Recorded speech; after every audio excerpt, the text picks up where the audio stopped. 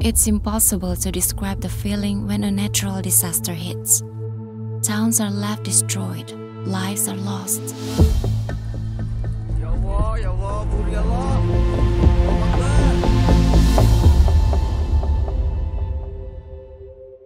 In December 2021, Piva Bell arrived just days after Indonesia's Mount Semeru volcano erupted.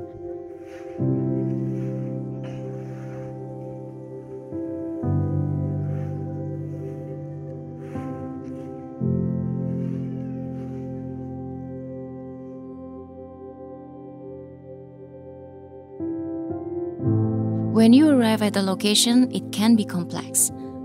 Responders need to know where they need to be. You need to do everything at speed. Mercy Corps, in partnership with Cisco, are working together to provide technology to deliver humanitarian aid faster, more efficiently, and to more people. With a pre configured Cisco Meraki Emergency Communications Kit, the Mercy Corps Indonesia response team was able to get online quickly to coordinate rescue operations. We need to have good, stable internet to be able to upload important data, pictures, and videos, as well as set up meetings with our own teams.